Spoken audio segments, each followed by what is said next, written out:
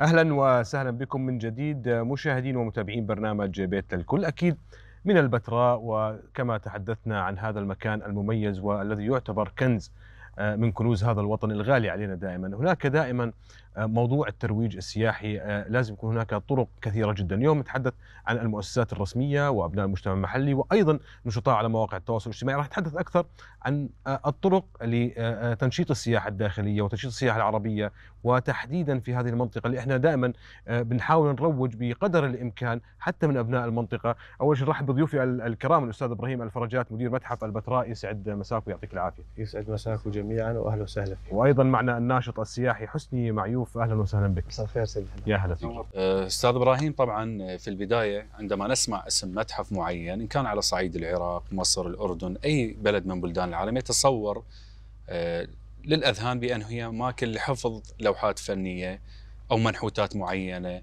للحفاظ عليها فقط. ولكن في الحقيقة للمتاحف في العالم دور كبير في تثقيف الشعوب في توثيق مراحل تاريخية مهمة وتنشيط الذاكرة بالنسبة للمجتمعات، برأيك كيف نتحدث عن هذا الدور في البداية؟ أكيد يعني الحكي اللي بتحكيه 100% لو رجعنا لآخر تعريف للمتاحف من خلال المجلس العالمي للمتاحف في مؤتمر براك تقريبا قبل سنتين من خلال اللي هو الاجتماع الدوري اللي بيصير للمتاحف العالمية. أكيد تم تعريف المتاحف على إنها هذا المكان أو المؤسسة اللي من خلالها يتم تطوير المجتمعات. آه وبرضه كذلك هو المكان اللي من خلاله يتم عرض الموروث الإنساني لأغراض الدراسة والترفيه. اذا من خلال هذا التعريف في هناك دور كبير للمتاحف. لا يقتصر هذا الدور زي ما حكيت على فقط عرض عرض القطع الأثرية أو ما إلى ذلك طبعا. والحفاظ عليها ولكن في هناك دور كبير في مجال التعليم والدراسة والترفيه. نعم. نعم. طيب أنا عايزة أنقل الحديث لأستاذ حسني ونتحدث عن محتوى اللي بيقدمه المدونون يعني أحيانا بنجد محتوى جيد واحيانا بنجد محتويات خارج النص زي ما بيقولوا فإلى أي مدى يعني نقدر نتحكم في ده خصوصا وإن السوشيال ميديا تأثيرها كبير وبتصل إلى يعني الملايين. أول شيء حابب أشكركم على الاستضافة. نورتونا. وفي مناسبة اليوبيل الفضي الأردني فاللي هو المحتوى الآن هو إحنا المحتوى اللي أنا شغال عليه هو من 31 5 ل 2010 تقريبا ما يقارب على 14 سنة. المحتوى اللي أنا شغال عليه اللي هو مكتب من أكبر مكتبات بالعالم كصور تحتوي على 114 ألف صورة وتحتوي على 86 ألف فيديو مقطع. فالمحتوى اللي إحنا معتمدين بالترويج أنا بالأردن هو للموضوع السياحة بالأردن. ما طلعنا إحنا عن خارج المحتوى لأنه المحتوى أنا اللي هو كأنا ابن البتراء المحتوى كنت مركز عليه هو المحتوى السياحي. حيث كانت بال 2010 كان ما كان في سوشيال ميديا كثير وكان فهذاك الفكرة أخذتها إن السوشيال ميديا بلشت في ال future راح تعمل نقلة نوعية بالسياحة ونقلة نوعية بالتعرف على الحضارات. قمت في هذا المحتوى الحمد لله 14 سنة. ما عند ما غيرنا هذا المحتوى لأنه إحنا محتوانا هو السياحة وهو للبلد حب للبلد بصراحة. ويمكن هنا كمان الناس بتتأثر بالمدون لأنه بيحسوا إن هو ابن هذه المنطقة دارس عارف فبيبقوا متفاعلين معاه بشكل كبير أكثر يعني. أها السوشيال ميديا. اللي قاعد بتقدم هو هي أكثر شيء المصداقية. صحيح. عندهم. إذا شافوا هذه الصفحة مصداقية أنا عندي تقريبا ما يقارب 900 ألف. السنة الماضية كان عندي وصل 110 مليون مشاهد. م. المصداقية في هذه الصفحة. فأي حدا راح يشوف هذه الصفحة اللي أنا بدولها هي بيعرفوا هي حب للوطن. وابن يعني ابن البتراء وأمارس. آه وأمارس موضوع السياحة. عارف السائح شو بده؟ وعارف شو بده. وعارف أنا لما عملت هاي الصفحة عارف الأردن شو عندنا؟ آه شيء ناقص لأنه ترويج السياحه دائما هو بيحتوي على محتوى عالي من من الدقة والمصداقية، الأردن إذا بتيجي بصراحة هي خارطة سياحية، خارطة عالمية، عندك السياحة الثقافية، عندك السياحة التاريخية، السياحة العلاجية، السياحة الدينية. التأملية، السياحة الدينية، بلدنا هي واحدة من الهول لا صح. فإذا إحنا ما اهتمينا فيها مين راح يهتم فيها؟ فهي الصفحة كانت طبعاً. عمل تطوعي، فالحمد لله كسبت ثقة الملايين و سيدنا وصاحب الجلالة أكرمني قبل تقريبا 40 يوم بالوسام آه، نوبيل الفضي. مبارك. وهذا شرف كبير لي وما يحكي اعتماء إنه العائله الملكه الاردنيه العائله الملكه الاردنيه تهتم بموضوع الشباب. سمع موصى سيدنا إنه موضوع السياحة والدور الشباب القادم. وإحنا إن شاء الله أنا وغيري وغيري إحنا ندور الشباب القادم. وهي الصفحة اللي عملتها عملتها بعمل جهد فردي من دون أي دعم بل هو الدعم كان هو حب الوطن. ورافض إنه آه، نروج الأردن هي هي هي نعم. عدوى وطنية معرفية آه، تثقيفية. نتمنى إنها تنتقل لكل يعني تكون عدوى يعني إيجابية بعدين إيجابية جدا. كل شبابنا العربي بمحتوى له قيمة يعني. أكيد. أستاذ إبراهيم يعني اسمح لي اليوم المتحف آه، هو جديد. يعني بنتحدث اليوم بعام 2019 تم افتتاح وإنشاء هذا المتحف. صحيح. أكيد الكثير من المقتنيات عبر حضارات كثيرة وحقب زمنية كثيرة جدا. اليوم نتحدث عن أهم المقتنيات داخل هذا المتحف؟ يعني متحف البتراء زي ما حكيت وتم افتتاحه بالعام 2019 المتحف يحتوي على ثمان قاعات عرض.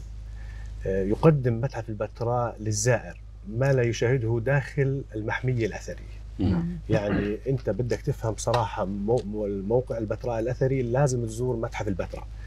الآن زي ما تحدثت يوجد ثمان قاعات عرض آه، يعني يتم عرض تقريبا 300 قطعة أثرية داخل هذا المتحف. أهم ما يميز متحف البتراء هي الشاشات التفاعلية التي يتم من خلالها برض عرض تاريخ المنطقة. الحضارات التي استوطنت بالبتراء من العصور الحجرية القديمة وحتى عصرنا الحديث. الآن لما ندخل المتحف ندخل على قاعة رقم واحد اللي هي من خلال هاي القاعة يتم الحديث عن هندسة المياه عند الأنباط والحصاد المائي وما لأهمية هذا النظام. طبعا. وندرته نعم. بالحضارات القديمة. بالقاعة رقم اثنين نتحدث عن الحضارات التي سبقت الحضارة النبطية نتحدث عن العصور الحجرية البرونزية الحديدية. العصر الفارسي جميع هاي الحضارات التي سبقت أو الأدوميين التي سبقت الحضارة النبطية. نتحدث بقاعة رقم ثلاثة عن التفاعلات الحضارية ما بين الأنباط والحضارات الأخرى سواء كانت الحضارة الفرعونية، الحضارة الرومانية، الحضارة اليونانية وتفاعلات الأنباط من خلال التجارة ومن خلال منحوتاتهم التي تركوها مع هذه الحضارات تأثرهم وتأثيرهم بهذه الحضارات التي عاصروها بتلك الفترة. بالقاعه رقم أربعة نتحدث عن الخزنة. أهم معلم موجود بالبتراء اللي إحنا الآن موجودين أمامه. هذا المعلم الفريد نتحدث عن أسرارها آه، عملية النحت آه، كيف تم آه، نحت هذه الواجهة الآن بال 2003 تم اكتشاف قبرين تحت هاي الخزنة. يعني من خلال هاي القاعة نتحدث عن كل ما يتعلق بهذه الواجهة وأسرار الخزنة. نعم. الآن الزائر لما يزور المحمية الأثرية ما بيشوف البيت النبطي.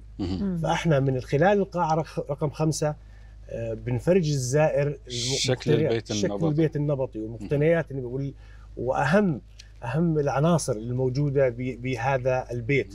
قديش كان في تطور بالبيت النبطي المقتنيات التي تم استخدامها بتلك الفترة. الآن برضو بنتحدث من خلال هذا المتحف عن نقوش الأنباط. نتحدث عن النقود النبطية والعملة النبطية وظهور آه، ملكة الأنباط على هذه العملة. نتحدث عن تجارة الأنباط. نتحدث عن الحضارات التي آه، آه، استوطنت بالموقع بعد الحضارة النبطية سواء كانت الرومانية البيزنطية الإسلامية وبعض المقتنيات التي تم إيجادها في منطقة البتراء والمنطقة المحيطة بها. وبالقاع رقم ثمانية نتحدث عن المجتمعات المحلية وعن الموروث الثقافي نتحدث عن التراث أو المادي واللامادي والشفوي في وهذا يمكن. حضرتك اللي تتحدث به هذه الجماليات اللي موجودة بالمتاحف تكون آه، رسالة موجهة إلى المجتمعات كي يتعرف الآخر ما نعرف بين حقب زمنية قديمة مرت. أيضا أريد آه، اشرك أستاذ حسني حول قضية آه، صنعت أفلام كثيرة نعم. أفلام أمريكية بدأوا يستغلون مناطق البتراء لجمالياتها لرهبه المكان لعبق هذا المكان رائحة اللي موجودة به تأخذك إلى إلى يعني أزمان بعيدة حقيقة للغاية. في الحقيقة هل بعملك اليوم كمدون المدون له مسؤولية كبيرة. نعم. توثيق مراحل مهمة نعم. وإيجاد التواريخ الحقيقية وأنت حضرتك ذكرت شيء مهم قلت بأن الصفحة بدأت بها متابعين بالملايين وهذه تقع مسؤولية كبيرة على عاتقك نعم. اليوم هل تشاهد بأن أنصفت الأفلام التي نفذت في هذه المناطق بأن تعكس صورة البتراء الصورة الحقيقية لها كبيئة آه وش حاب أشكرك على هذا السؤال لأن هذا أصلا شغلي الأساسي مهم. أنا production manager في فيلم في أنا عامل 86 فيلم وثائقي. بين جميع قنوات بين جميع عن الأردن كامل مهم. و90% من الأفلام الوثائقية والأفلام العالمية صورت في البتراء أنا ال location و fixer manager تبعها ما شاء الله فهاي هي السياحه الفيلمية، السياحه. الفيلمية آه أنص... ما لحد الآن يعني هو فيلم إنديانا جونز هو. من أنصف البتراء بصراحة فقط نحكي المنطق. آه وما زال يعني السياحه الفيلمية هي جديده بالأردن إذا بتلاحظ على بالأردن السياحة الفيلمية بلشت يعني من تقريبا من 2003 مهم. بلشت تعمل focus كثير على هاي الموضوع لأنه هاي أكثر شيء مدره بصراحة كناتج مالي.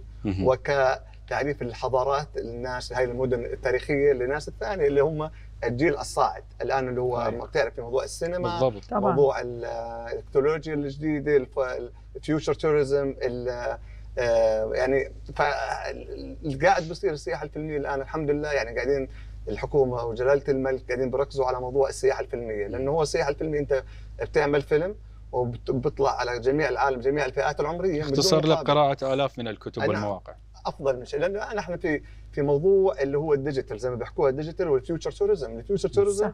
اللي هو أي إنسان بده يشاهد هاي المواقع السياحية ما بده أكثر من دقيقة أكثر من دقيقة راح يمل لأن الان. عندك أنت كمواقع إلكترونية و آه، يعني الآن مواقع الكترونيه ما أكثر من دقيقة ما بتقعد طبعا فإحنا مركزين على هاي المواضيع إنه الفوكس على هاي المواضيع على هاي الموقع فالبتراء أقول لك إياها يعني بصراحة آه، البتراء هي جوهرة جوهرة الصحراء العربية. وجوهرة العالم الالماسيه إذا. بدك تقدم ليش؟ لأنه. البتراء هي حلم لكل واحد يشوفها لكل واحد. يحضرها لأن إذا بتيجي على سبع العجائب الدنيا السبع في كل العالم هي واحدة منها هي واحدة منهم وتتميز. بأنها كلها طبيعي 100% طبيعية 100% دون تدخل؟ والحكومة الأردنية ووزاره السياحة الأردنية من لما سجلت البتراء في اليونسكو عام 1900 و 1985 85 مهم. ممنوع أي شيء في البتراء يحفر. ممنوع أي شيء يعني يطبق نظام اليونسكو 99% على البتراء أكثر من أي مواقع ثانية. طبعا فدلالة على ذلك أنها قيمتها كان للاردنيين مهم. هي إرث عالمي وبعدين حتى البتراء قبل أن تكون للأردنيين للعرب هي إرث حقيقة عالمي وليس. للعرب أيضا إرث صحيح. عالمي. تملكها جميع البشرية لأن هذا الشيء. هو تاريخ صحيح. عمره خ- 2000 سنة مهم. فكل العالم هذا إرث عالمي كل العالم اللي بيجوا عليه لازم يحافظوا عليها. لأن هاي بتعلم عدة عصور حضارات ومن الأنباط والرومان والبيزنطيين والآن الهاشميين علما هاي الفترة لن يملكها دا- دائما لم يحكمها إلا الملوك. الملك النبطي الآن هي مميزات شوف عدة البيزنطيه الرومانية. والآن العائلة الهاشمية نعم. فهي البترا هي مدينة الملوك. وما- أكيد. وتظل مدينة الملوك وستظل بإذن الله. خليني أخذ من كلام حضرتك ومدى ال- ال- التأثير الحقيقي على الأماكن الأثرية الآن ويمكن ال digital media كمان قدرت توصل حاجات أسرع بكتير. آه، آه، ال- المتاحف آه، زي ما هي سياحة وزيارة لكن كمان فيها فيها جزء كبير تعليمي. يعني في ناس بتدرس في ناس بتتعلم في ناس بتعمل مقارنات آه، ما بين حضارات مختلفة. بتكلم كمان ده ليه لأن أنا جاية برضو من خلفية بلد كلها آثار. نعم. وأذكر تماما الأقصر لما تم يعني إعادتها وتطويرها بشكل كبير وهي مدينة مفتوحة للآثار. طريق الكباش تم إعداده بشكل جديد. فالعلاقة كمان ما بين آه، يعني المتحف وما بين المتاحف الأخرى في آه، بلادنا العربية وهي غنية يعني نتكلم على مصر على العراق على فما هي العلاقة؟ أوكي يعني الآن بالنسبة للشق الأول من السؤال أكيد لا يقتصر زي ما حكينا بالبداية دور المتحف على عرض القطع الأثرية أكيد له دور بالتعليم ودور بالبحث العلمي كذلك طبعا الآن زي ما بتعرفوا إنه بيحتفل العالم بكل عام ب 18 ايار باليوم العالمي للمتاحف. صحيح. وكان شعار هذا العام هو متاحف من أجل التعليم والبحث العلمي. صحيح. فإحنا بمتحف البتراء أكيد إن علاقة وطيدة مع جميع المؤسسات التعليمية سواء كانت الجامعية أو المدارس. وفي هناك أكيد يعني آه، ورشات توعوية على مدار السنة لهذه المؤسسات التعليمية بما يتعلق بالموروث الإنساني والموروث الشعبي كذلك. بالنسبة للشق الثاني من السؤال أكيد إحنا الآن متحف البتراء هو عضو بالآيكوم اللي هو المجلس العالمي للمتاحف. فأكيد إن علاقة وطيدة مع المتاحف العالمية والعربية. في هناك تبادل بما يتعلق بموضوع التدريب وورشات العمل والمؤتمرات. وما إلى ذلك. فأكيد المتحف البتراء جزء لا يتجزأ من المتاحف العالمية وإحنا أكيد عضو بمنظمة المتاحف العالمية. إن شاء الله. يعني أستاذ إبراهيم إحنا اسمح لي بالسؤال الأخير إذا سمحت. يعني حكى أستاذ حسني آه، قبل قليل عن موضوع السوشيال ميديا وقديش إنه المدونات لازم اليوم تكون مهمة، اليوم إدراجها واستغلالها في بعض المتاحف الموجودة سواء بالأردن أو بأي مكان آخر، حتى أيضا يكون رسالة أيضا ممكن توصل لأي حدا بالعالم. 100% يعني أتفق مع حكي الأخ حسني بما يتعلق بهذا الموضوع وإحنا أكيد من خلال متحف البتراء آه، في عندنا صفحه صفحة على الفيسبوك وعلى جميع مواقع التواصل الاجتماعي. من خلالها يتم نشر رسالة المتحف نعم. اللي هي بتخص سواء كانت المجتمعات المحلية أو كل زوار الأردن بشكل عام والبتراء. ومعلومه يعني متحف البتراء هو أكثر متحف يزار بالأردن. يعني بالعام المنصرم زار المتحف ما يقارب 300 ألف زائر ما شاء الله رقم وهذا الحكي أكيد يعني آه، بحتم علينا مسؤولية كبيرة أنه كيف إحنا نطور كيف نوسع نشاطاتنا سواء كان مع المجتمعات المحلية أو المؤسسات التعليمية الموجودة نعم. بالمنطقة.